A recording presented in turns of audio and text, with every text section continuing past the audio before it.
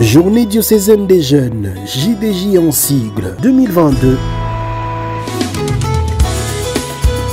L'aumônerie pastorale de jeunes convie tous les jeunes à prendre part aux journées diocésaines des jeunes. Retenez bien la date du vendredi 18 au dimanche 20 novembre 2022 au lycée Lubusha à Lucha.